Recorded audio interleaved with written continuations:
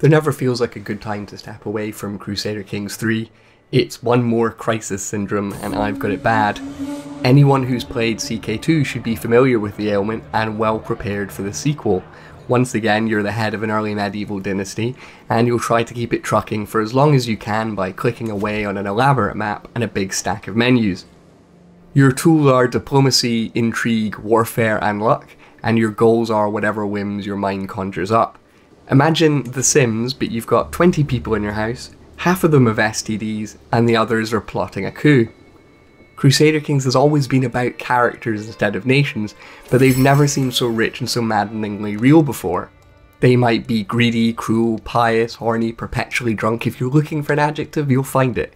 Everything is a root cause, something that the trait can be traced back to, like a childhood bully or a battle that went badly, creating characters moulded by their past.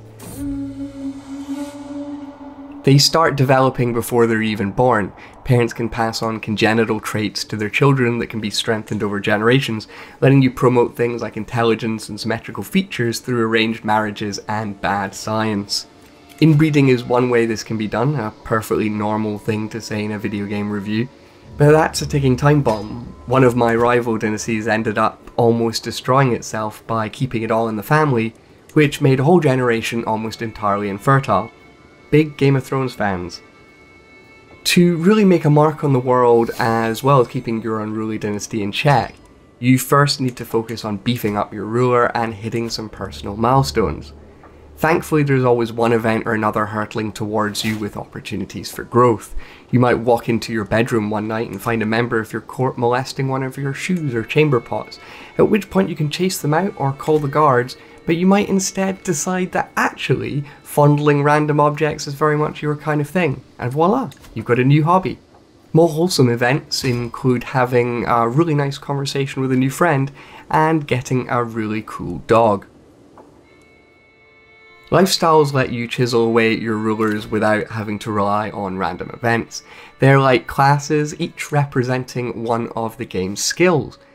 Through education, everyone has an inclination for a specific lifestyle, but you can pick whichever one you want. Each is split up into areas you can focus on, giving you a persistent bonus and letting you start to earn XP that can be used to unlock perks from the lifestyle's three trees. Where its predecessor took a lot of inspiration from RPGs, this is a full RPG progression system that's fueled by stories rather than kills and quests. The most insidious threat to a ruler is stress. It's what keeps you honest, or cruel, or greedy. You gain stress whenever you act against your personality. If you're chaste and you start rolling around in the hay with a courtier, you're going to be racked with guilt. You can even die from stress. So there is more weight to these choices, more risk, and the price of free will is the constant threat of an existential crisis. While you can spend incalculable hours wrapped up in role playing and intrigue, there's also a huge simulated world to paint in your colour.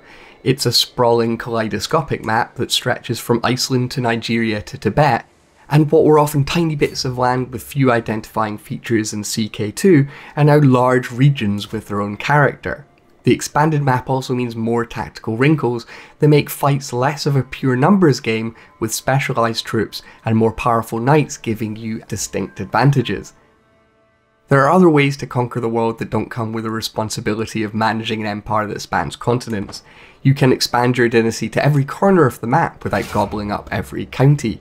You can use marriage and inheritances to place your relatives in seats of power outside your own realm, Powerful members of your dynasty might also decide to form a cadet branch, getting out from under your influence and gaining control over the family members in this new house. You're not sacrificing power, you're dividing responsibility. Other houses and independent rulers contribute renown to the dynasty, and as the head, that means you're able to throw your weight around and spend that renown on dynasty wide legacies. Think perks, but they're permanent and for the whole family. Eventually, you can build a dynasty of warlords or ensure that the realms under your supervision run with machine like efficiency. It's been a huge relief to let some other characters do the heavy lifting. Leading a dynasty to immortality is exhausting, but now it's a team effort. Spreading it lets you enjoy the hit of power and rush of expansion, but doesn't ditch you with a whole host of new administrative problems. All of the glory, but not quite as much of the hard work. It's the dream. The loftiest ambition is, of course, trying to make everyone agree that your god's the best one, or you could get in on the medieval era's biggest craze, heresy. Religion in Crusader Kings 3 is vastly influential and usually chock full of rules that ruin everyone's fun.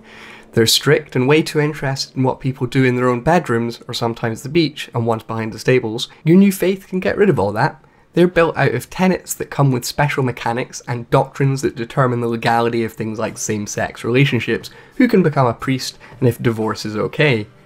Making a new faith is a lot like creating a new culture, but there's also a discrete culture system that's tied to innovations. New laws, unique units, and special bonuses can be unlocked over time for everyone in the culture, but only the dominant ruler can actually pick what innovations to focus on. Even research becomes another source of competition and intrigue as you try to keep your fellow rulers behind you. Just as new faiths keep popping up, new cultures can also appear and start challenging their more established neighbours. Crusader Kings 3 is always in motion, always jumping to new stories, so it never lets you get too settled. It's an irrepressible story engine that spits out a constant stream of compelling alt histories, delightfully infuriating characters, and social puzzles that I've become obsessed with unravelling. I can't imagine being done with it. I just subsist on this digital drama now. Will Alfred finally leave the torture chamber and make a new friend? What's Bjorn going to do now that he knows his wife is in love with the Chancellor? And who's going to be committing patricide next? I need to spend less time recording reviews and more time with my dynasties.